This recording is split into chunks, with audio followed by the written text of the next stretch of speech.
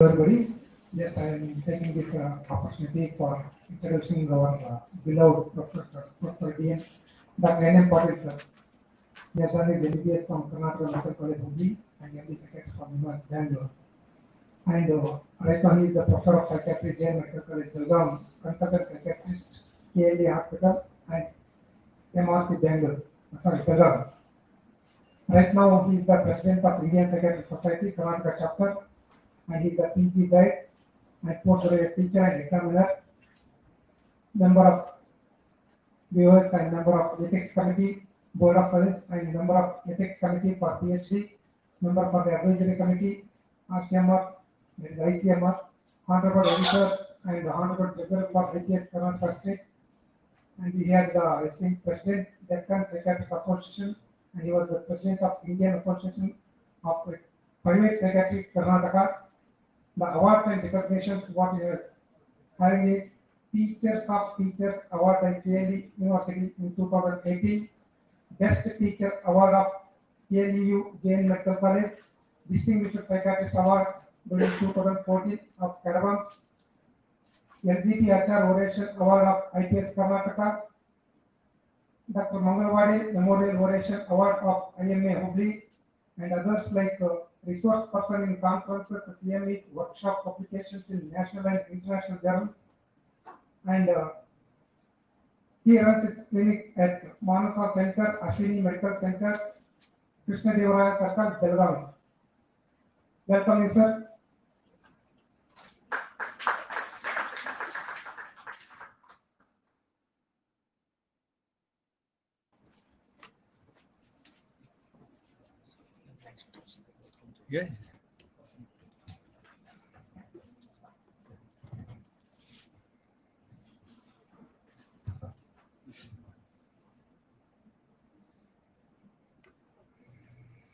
Good morning again. Uh, This will be basically a clinical presentation.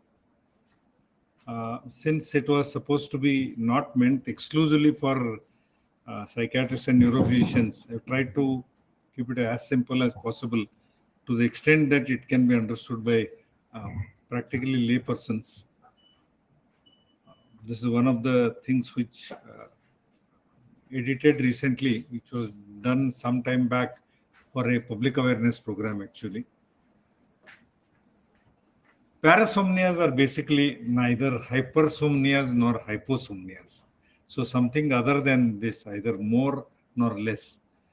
So somnos is sleep. So parasomnias is something that happens somewhere when there is no increased sleep, no decreased sleep, but during sleep.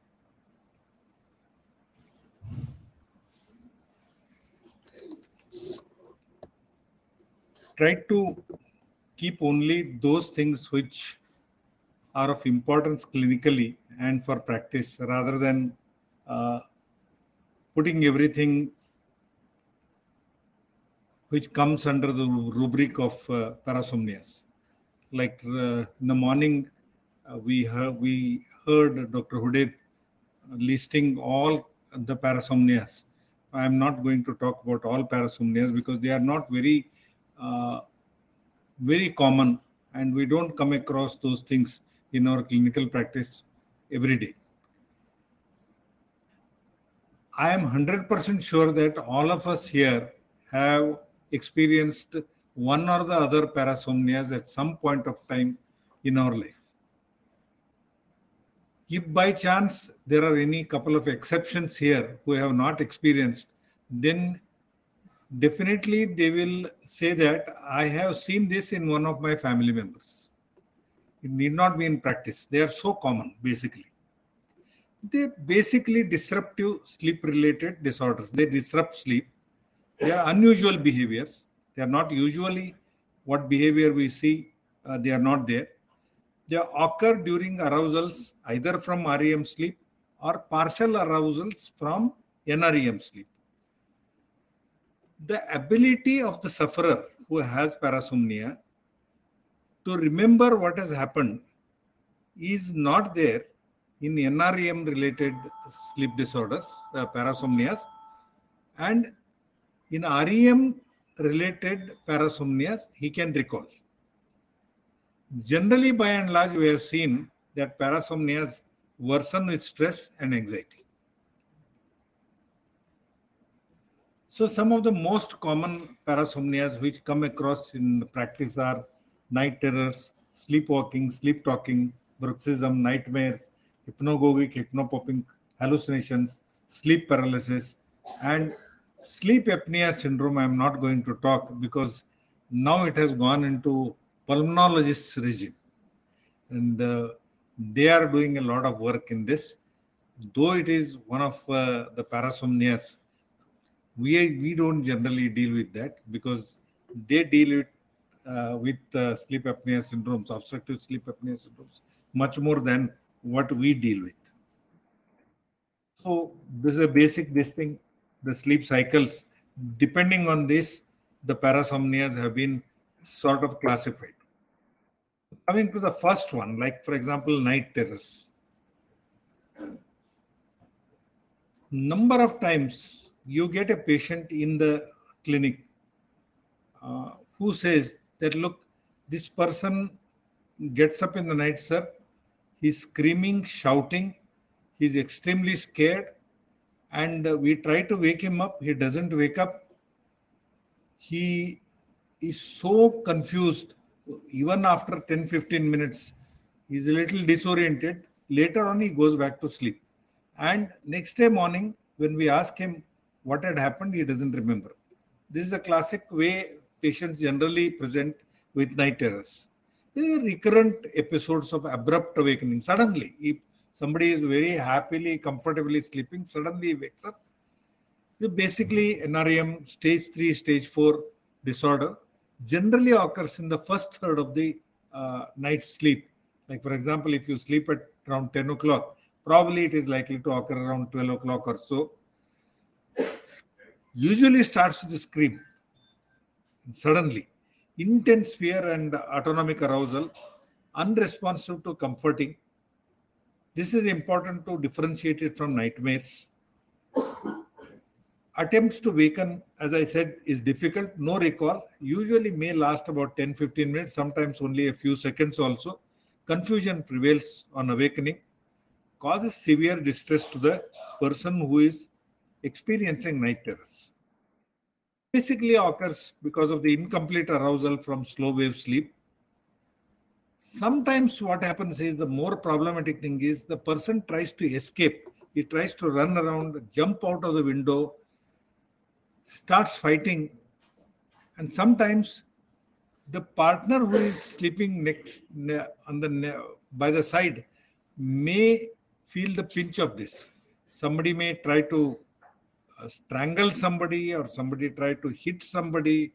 Some of these things happen, and there are celebrated cases uh, that have happened, at least in the West, not reported in India, that the partner has been killed and the person has been uh, tried in the court for uh, murder and uh, has been acquitted after proving that this happened during night terrors and a conclusive proof requires to be given in such circumstances. So a partner may get uh, injured or something, or he himself may injure trying to jump out of the window, or he doesn't understand during that time. He is not fully awake. More common in children, fortunately, by adult life, a lot of people get away from this. 30% at least 30% children at least have one episode of night terror uh, during their childhood. About 2% adults, like all of us, about 2% of us, and most of uh, people who develop this in have in adults, adulthood, have history of having night terrors in chil- uh, during their childhood. During the stress, during the stressful times, uh, these definitely occur more frequently if there is a comorbid psychiatric disorders, they often co-occur with that particular disorder. Usually the disorder would be either anxiety or depression. So if you are going through a very bad patch of uh, problem in life, for example, for students, it may be examination or a relationship problem or something. And during that time, you may expect uh, night terrors to, to occur more often. Cause could be genetic because it has been found that uh, uh, the night terrors happen quite frequently in families. Irregular sleep habits, stress in children, fever can also precipitate night terrors. Another thing is people who work in shifts during stressful times also are likely to have night terrors. The usually children recover by adulthood, others a chronic course. Basically, a clinical diagnosis requires to be confirmed by a sleep uh, uh, test. Reassurance is the best medicine for these people. Reassure, reassure, and reassure. Minimize triggers. If somebody is drinking alcohol or using some other drug or drinking a lot of coffees during uh, daytime or using tremendous amount of uh, nicotine during the time, maybe he can uh, try to change that. Safety of escape routes. Like for example you may lock the window so that he won't jump a window without uh, railing or a, a door that leads immediately to steps. He may fall down or something may happen. Uh, these are the kind of things which we may try as a safety measure medication generally the two medications that have been by and large uh, found to be quite useful are clonazepam and paroxetine. Uh, paroxetine, a lot of people have uh, reported that probably even a single dose of paroxetine may uh, make wonderful uh, recovery from night terrors. Generally, earlier we used to give uh, tricyclic antidepressants because by and large they do well with NREM sleep related disorders but paroxetine subsequently has been found to be more of a favorite with a lot of people who uh, practice sleep medicine. So, if an EEG is taken or uh, during the in a sleep lab, this is exactly how you can decide that a night terror has occurred. Sudden burst of EEG delta discharge suddenly gives away to the stage 3 NREM sleep. I, I couldn't get this uh, picture right. This is basically a video of how uh, it happens. Sorry for that. But this is uh, this is one of the uh, sleep lab uh, videos. Next comes is somnambulism. Uh, a lot more people have experience with somnambulism. Episodes of rising from bed during the first third of the night during deep NREM stage 3 or stage 4 sleep walking washing dressing even making tea and drinking and uh, they don't remember they, they do all these things and uh, similar thing a few of us noticed when uh, one of the very popular drugs amongst non-psychiatrists is zolpidem and uh, when zolpidem is uh, given some of the patients develop these kind of very peculiar automatic behaviors they talk on the phone, they ring up somebody, they talk on the phone, they do something, or they have a cup of tea, and they don't remember anything. So practically um, like somnambulism. This happens with zolpidem. You stop zolpidem, it stops, start again, restart, give a challenge, again it it has a problem. So zolpidem is being used by a lot of uh, other specialists. So if a patient comes with these kind of complaints maybe should be taken seriously it may be a drug related thing or otherwise also it is quite common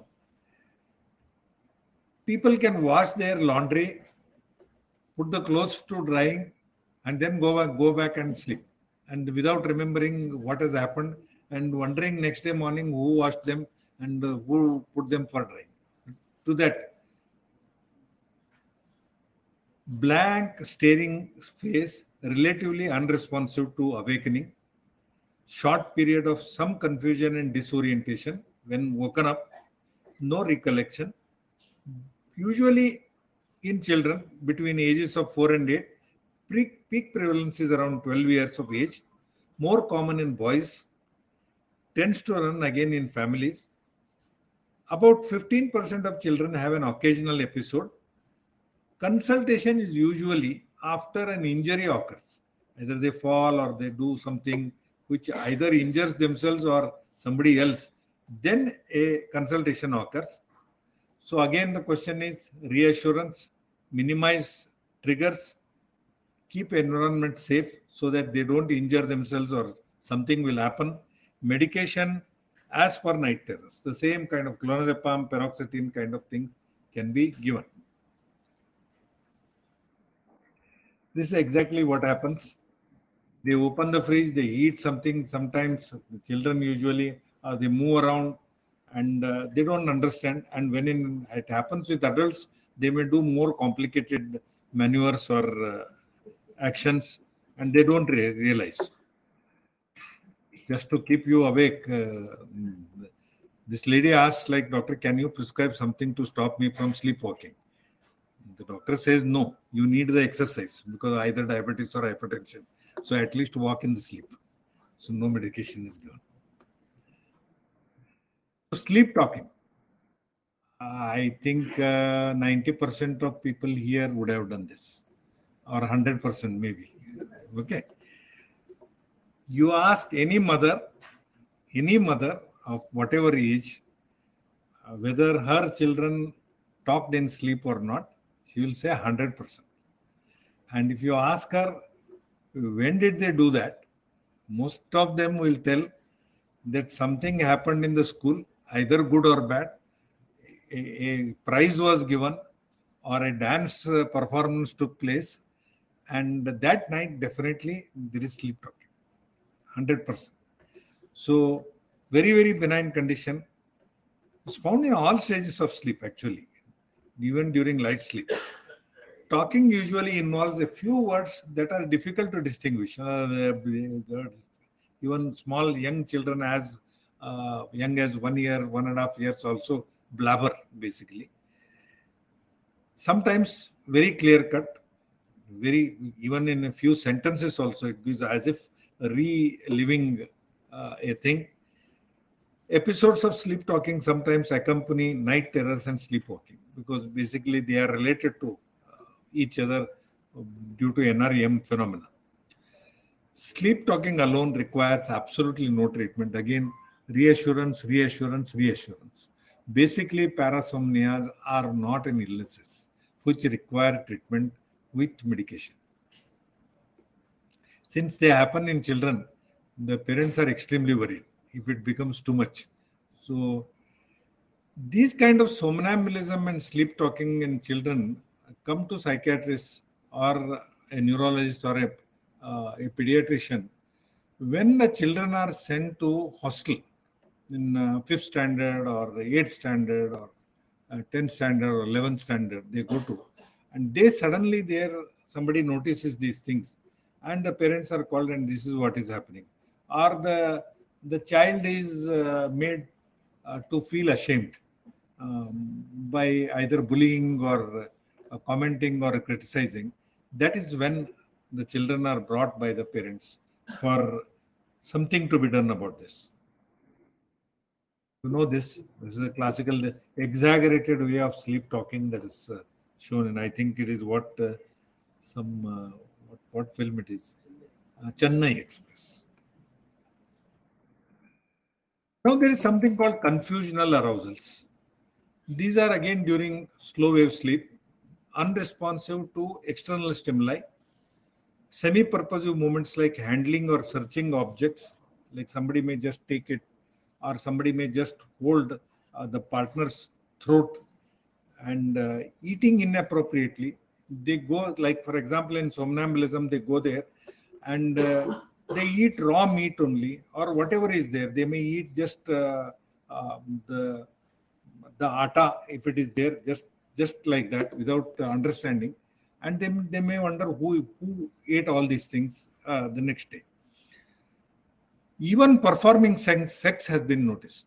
He performs sex and uh, sleeps off and next day morning doesn't have any idea that he has uh, performed sex So again, confusional arousals for a short period of time. Whatever he does, he doesn't remember. Fortunately, they are not very, very common because the partner uh, faces the brunt of uh, these attacks because they may injure themselves or create a lot of problems. If there is a something, a knife or something, they may they think that it is a, a an apple or a tomato. They may try to push it. These things have have happened. These things uh, have been reported, and uh, legal complications have occurred. Divorces have occurred because of these things. So these things are important. Bruxism is another thing, which is the underreported probably. Uh, 5 to 10% of population uh, has this. Basically, it is teeth grinding, loud noise. They create noise. And the people who are sleeping nearby, they hear the noise. Their sleep gets disturbed. But the person doesn't remember that he has bruxism. Produce noticeable damage to teeth.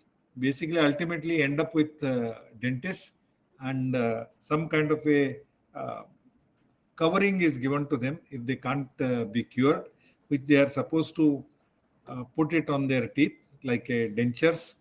And uh, basically, they come to us or to go to a dentist because they have jaw ache or they get headache.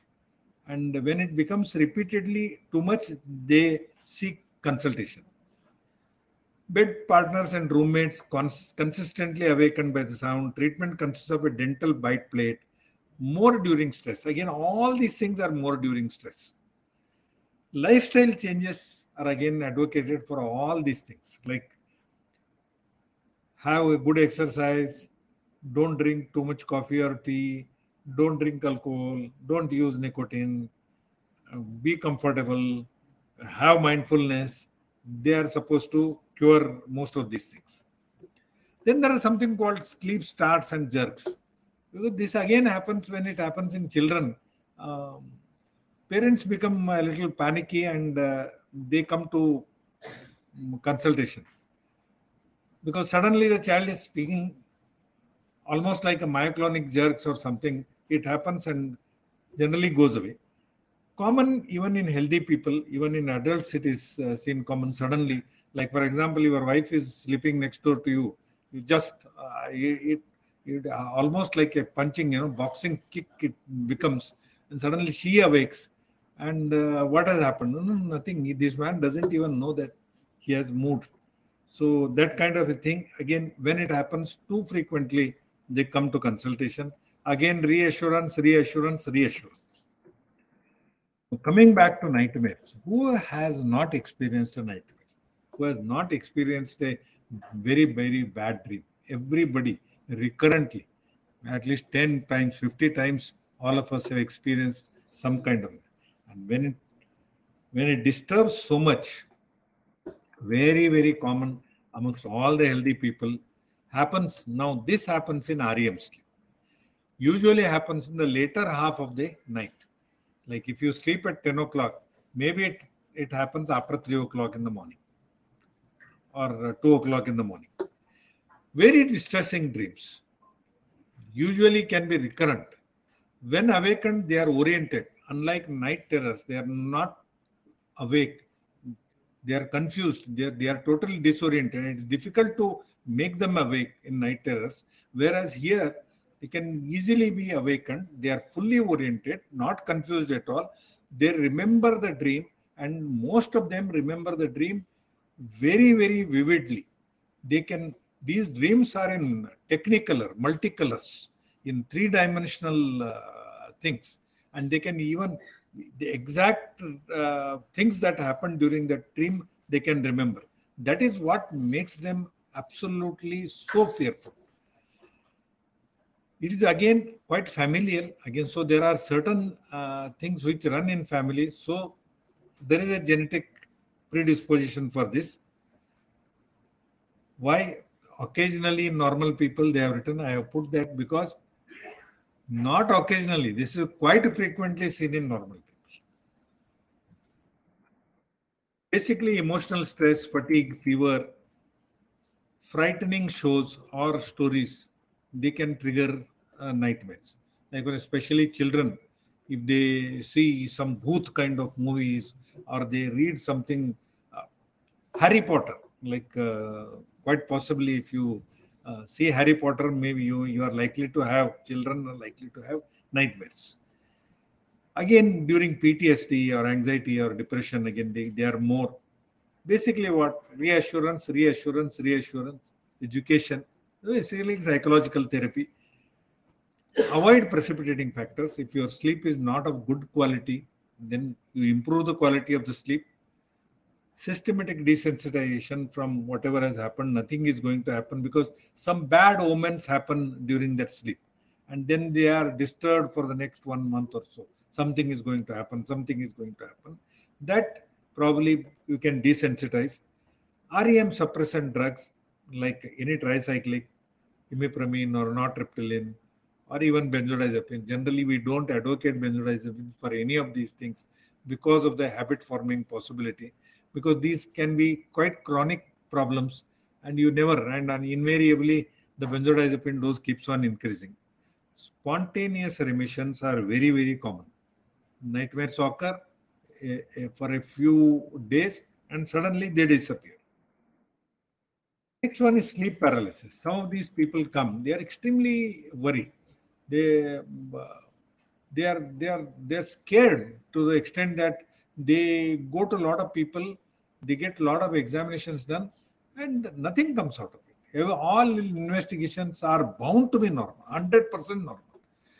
This happens when waking from sleep fully awake, fully conscious, oriented, but can't move any of my limbs, totally paralyzed. It causes tremendous amount of fear. This is exactly for all psychiatrists, I can tell you this. When you give sufficient sufficient amount of scoline and less amount of thiopentone um, during ECT procedure, this is exactly what happens to patients. And those people who have experienced this will refuse next ECT. That is that is a, a problem. Okay, so you can't do anything, you can't move, and you are fully awake. You can't call, you can't you can't talk, you can't shout. That that becomes a major problem. Nearly three percent people are supposed to have at some point of time. Comorbidity is usually anxiety and depression. It is usually a REM end phenomena, just waking up, just about to wake up. Shift sleep deprivation can precipitate these things, shift work, shift sleep. So, good sleep habits are a norm here as treatment. Reassurance again. SSRIs are supposed to help in this. The best part is you touch them like this, gone. It's, it's a miracle. Like sleep paralysis people, sleep paralyzed, just touch, just just slap them on the leg or hand. They become fully fully functional instantaneously. Don't know uh, what could be the reason or something, but uh, I was quite skeptical about this. But couple of patients whom I I had the occasion to see during my career as a psychiatrist, uh, this this appears to be very true because uh, their their own partners tell. Like one person used to tell his wife used to have uh, sleep paralysis on and off, and he, he, they themselves had found out what could be. He just slaps her, she becomes fine. So initially, when when she said, I, I thought must be some dissociative phenomena, something, but uh, doesn't appear to be that because this is what is reported across the world also. Now, REM behavior disorders are the next uh, in the REM compartment. Violent, complex, short behaviors at night, often several episodes during one night. We can wake the subject because NREM, it is any phenomena in NREM, it is difficult to wake the subject. But in REM phenomena, you just slap him or shake him or call him, he will wake up. Here, probably he remembers a dream quite often, whatever has happened. Very vivid, violent, unpleasant dreams they have during these episodes. Shouting, violent, sudden movements, grasping, punching, knocking, falling. They may suddenly fall from the uh, bed when trying to get up or jump from there or something. And again, the partner is going to suffer uh, sometimes and may get injured. They themselves get injured, but the partner also may get injured. Confused for a short period, distressed, and very remorseful. They feel extremely bad about what they did or what happened. Best part is it happens in men usually after 50 years and uh, associated generally with future Parkinson's or Lewy body dementia. It, it is almost a precursor, as Dr. Uded was mentioning earlier in the morning also. The new neurodegenerative disease uh, can be predicted with REM behavior disorders. Maybe in the next four or five years' time, these people are likely to develop these kind of uh, problems. Diagnosis again, clinical basically, and polysomnography. SSRIs, TCAs make it worse. All the other parasomnias, TCAs and SSRIs help. If you give paroxetine or imipramine or nortriptyline, they do well. But here they become worse. Provide a safe environment for the partner and for this person. So usual standard uh, teaching is remove the common bed, put two beds in the same room, slightly away, so he doesn't uh, harm the partner, and uh, put some padding on the floor so he will not injure himself. No sharp objects around so that he will not do because they grasp or do some things. So this and clonazepam may help in some of these individuals, not very uh, definite, but it can help. Again, sleep hygiene probably plays a little bit of a role. Nothing much actually can be done with REM behavior disorders. Hypnagogic and hypnopompic hallucinations, either while we are about to go to sleep or when we are about to come out of sleep, is still not awake. During that time, it happens. They vividly see some things or hear some things. Usually, most most often, it is auditory, as if somebody is calling or somebody is talking or somebody is shouting or some some objects they see. But within a within a minute or so, they become awake. They are gone. They, they and they, again harmless, benign, no problem is needed. Quality of sleep improved. They disappear. So reassurance helping them to uh, get a good quality of sleep. Restless leg syndrome uh, sometimes goes to a neurophysician, sometimes to come to us. Again, a very difficult uh, kind of a problem to treat. It's also called as Ekbom syndrome. Common yet frequently undiagnosed. Uncomfortable restlessness in legs on lying down. It's almost like our akathisia kind of thing. And uh, irresistible urge to move legs. As soon as they sleep on the bed, they start thrashing around uh, their legs. Relieved by movement of legs. Treatment clonazepam, gabapentin, pramipexole, clonidine all are supposed to help. Whichever helps, trial and error, that will help. And uh, you can't do much about it because this is a, a chronic kind of condition. Unfortunately, we don't have.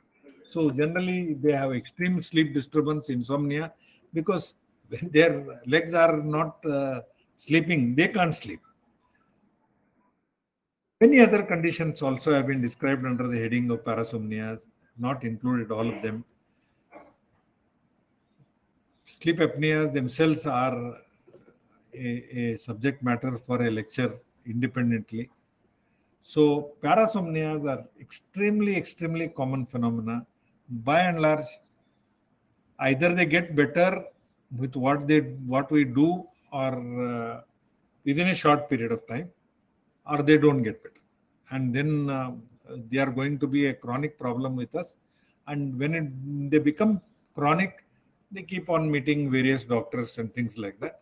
Otherwise most of them are extremely treatable without medication. They will have to be explained educated about what is a good sleep and what are the parameters for a good sleep. And that is the most important. Drugs are not most important. But unfortunately parasomnias create so much disturbance and distress to a lot of people. But because of non-awareness of these conditions, people don't come forward to seek help, and we also don't ask. Like how many how many of us even ask about parasomnias uh, to our patients? And if you ask, like because because anybody who has anxiety related disorders and depressive disorders, more number of these people are likely to have parasomnias, one or the other, and we don't even ask. So it is our business also to ask because they're easy. They are, they are easy to take. We only tell, okay, this is what is happening. Okay. So I'm dreaming a lot. I don't even ask, like, is, it a nightmare or possible nightmare or something? Okay, you add a little more of benzodiazepine and send them. That's what what generally we do. Probably uh, we also require to take uh, a step back, ask something, and uh, reduce our drugs. So parasomnias are something which I have experienced, which I know everyone I know has experienced. So nothing great about it. They are going to stay with us. You all listen. Take care of your own parasomnias and help other people who are likely to have parasomnias in your family or in your practice. Thank you. Thank you very much.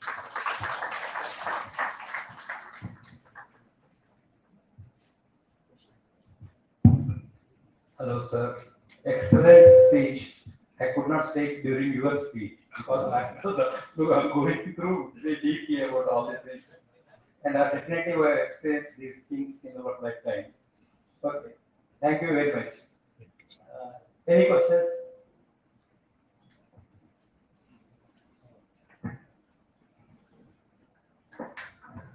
Sir, uh, in uh, restless, restlessness, uh, glandular restlessness syndrome, on the rest, uh, many times they use iron deficiency in the brain or even B12 deficiency they also.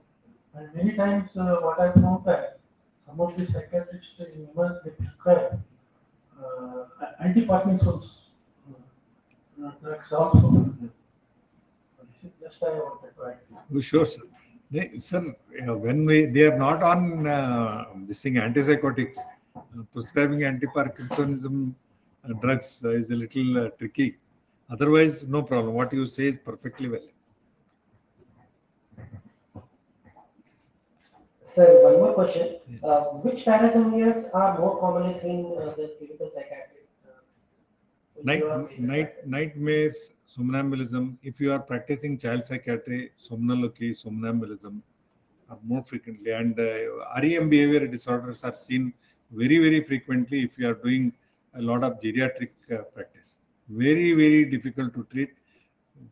Frustrating, uh, as it is, dementias are frustrating, as it is something Parkinson plus, so common in Parkinson plus. Uh, very, very difficult. Extremely. The only thing I have uh, with a lot of give and take and uh, this thing with geriatric psychiatry in NIMHANS uh, with Matthew and others, what we have realized is probably a bit of clonazepam and uh, aripiprazole. Additionally, with donepezil and memantine, sometimes helps. Sometimes uh, things like vitamin E, um, they all non-specific things, uh, nothing uh, special. Very, very frustrating. Very frustrating.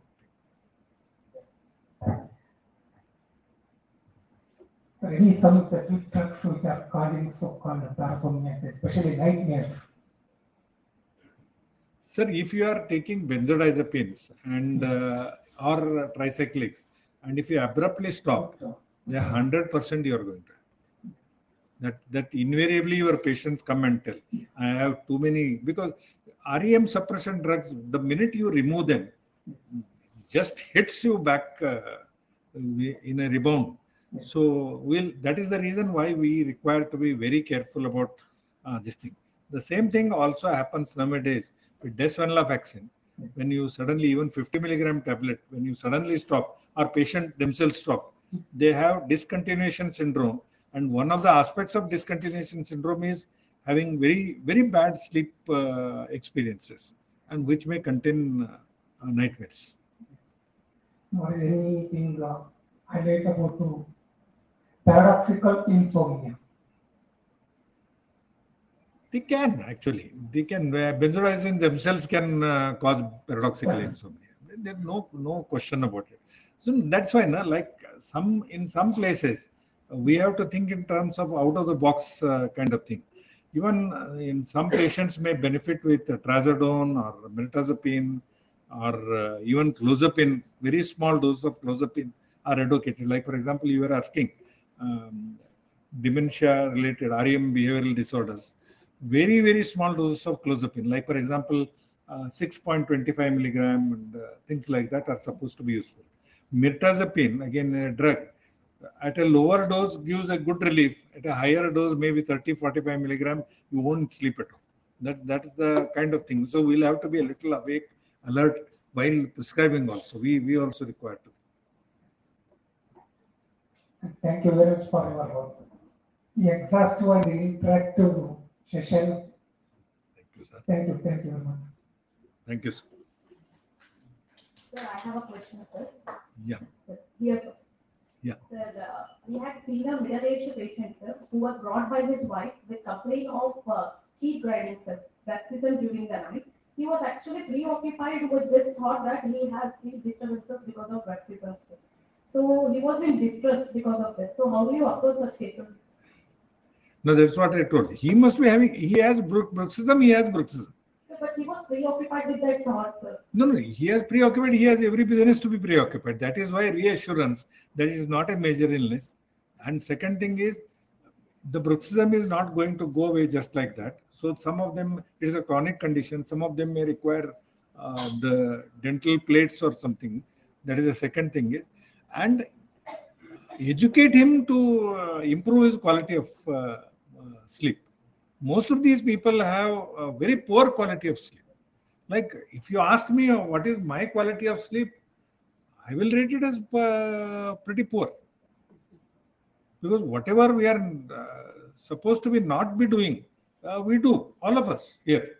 I i really wonder if there is any exception here. See we do uh, how many of us actually walk uh, or do a moderate kind of exercise? How many of us practice mindfulness? How many of us uh, um, drink tea or coffee extremely moderately?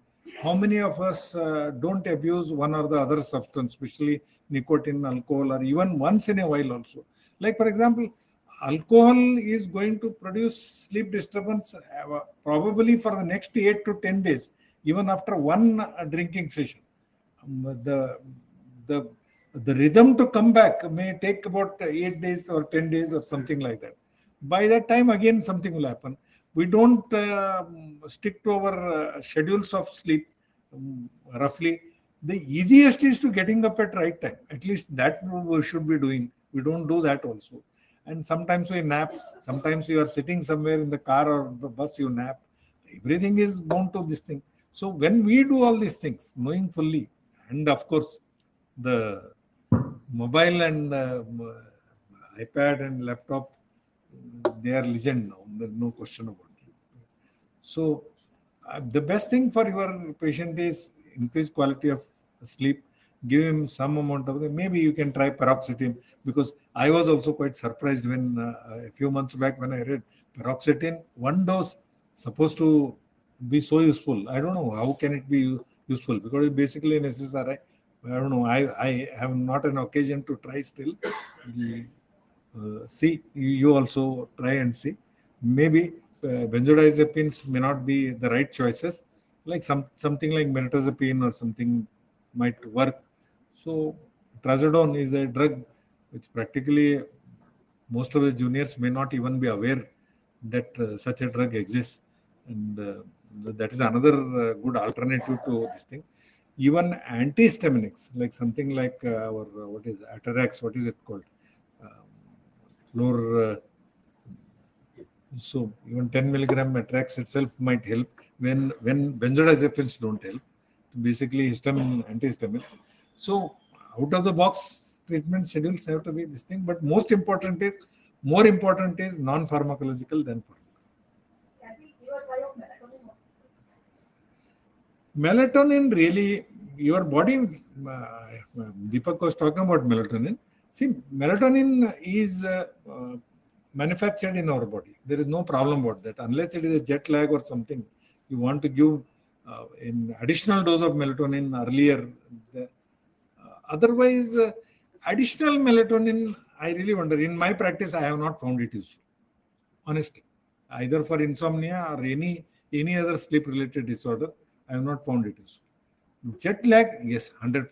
This is good. It helps. Additional, as an adjunct drug with other drugs, maybe melatonin might be worth trying.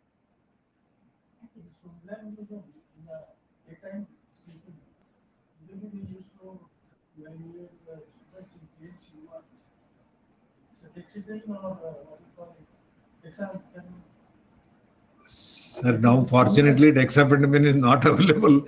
Fortunately, now methylphenidate is, people take methylphenidate now. But they do also, the, the commonest I told you, no, like zolpidem. Zolpidem sometimes causes.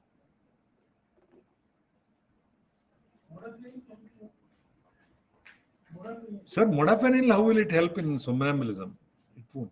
It will uh, make you more alert. In the daytime sleep, Sir, daytime sleep, of course. modafinil can be. Yeah, yes. Narcolepsy, the drug of choice. Sir. Armodafinil is the drug of choice. We, I, I have two psychiatry friends who had uh, narcolepsy, and uh, they said that modafinil made their career and life absolutely wonderful. Before that, they had very, very great difficulty. One more question, sir. Night terrors in the alcohol withdrawal, Sir, night terrors, kintano, the, it is basically nightmares more often occurs. and also all sorts of sleep disturbances occur in withdrawal any withdrawal benzodiazepine withdrawal alcohol withdrawal anywhere the gaba is not there that is it's removed and uh, glutamate overactivity toxicity is there thank you Okay. Uh, Thank you so much, sir, for such an informative session. Now I request the chairpersons to please come